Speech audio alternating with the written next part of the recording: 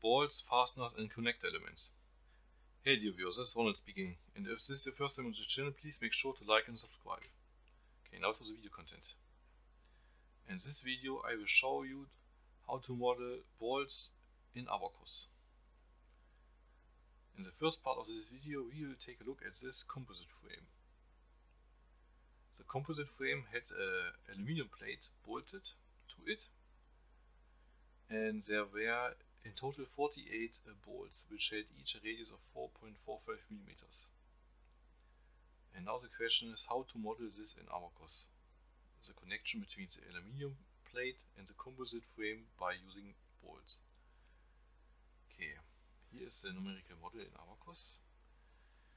And as you can see already, I have here a lot of uh, reference points the reference points can be generated with uh, in using the interaction module and create reference point.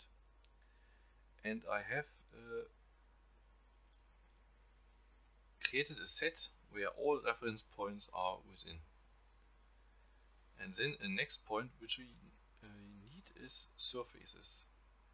We connect the outer flange surface of the frame this one to the surface of the aluminum plate. And how did I um, create the connection? I got module interaction, then the fastener manager. Here's the fastener manager, then I create a point-based fastener. Point-based, okay, let's have a look, edit, and then you can see here the domain is S point. These are the 48 reference points. Then the target surfaces and approach fasten in specific order. The one region is the outer flange and the other region is the aluminium plate. Then criteria was face to face, property was 4.45 uh, physical radius in millimeter, and then rigid MPC formulation is structural distributing and here all degrees of freedom and adjust um, you need a coordinate system for the fasteners which is this one. It has to be uh, specified especially. And then uh, the influence radius of the fasteners is 4.45 millimeters which is the same as this one. Okay this is the first part. The bolts from the aluminium frame to the composite, uh, also aluminium plate to the composite frame. And then there was another part uh, for the modeling. Um, the frame was tested uh, in a testing rig for four-point bending, and there were four clamping jaws. And I don't know if you can see it here.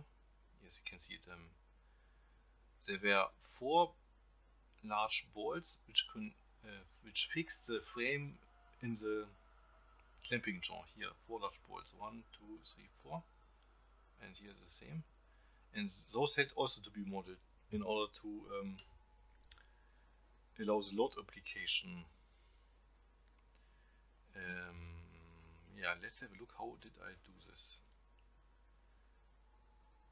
Let's have a look here. This is one position for the clamping jaws um, the sets look like this. Here, this at this surface the clamping jaw was applied, and then you can see here.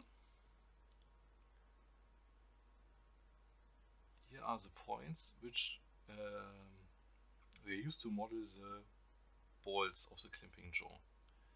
And uh, I used constraint manager and then create coupling and let's have a look at edit here you can see we have control points MZ38 which is the reference point and the surface which is node based and it's the SZ38 this one.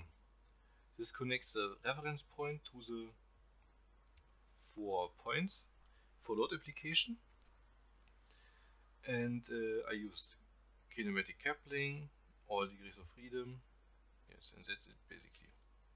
And then I could uh, apply boundary conditions on this point and on the other points also. You can see here the boundary condition.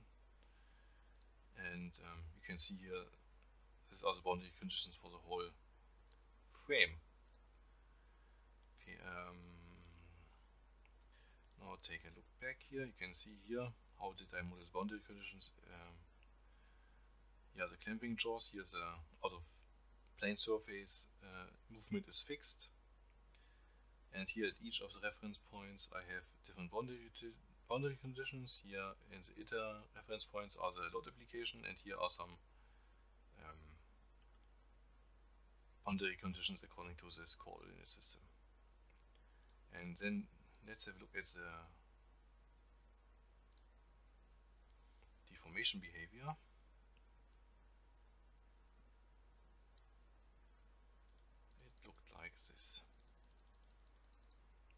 Not, not much frames.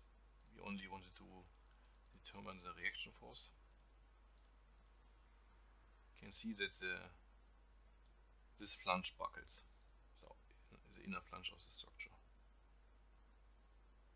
And here is a here's outer flange with aluminum plate. Okay, and we also validated with uh, experimental test. You can see here the black line is the numerical simulation and the red line is the test and you see that it is quite a good agreement. So I guess the modeling of the clamping jaws and clamping bolts and the fasteners worked quite well.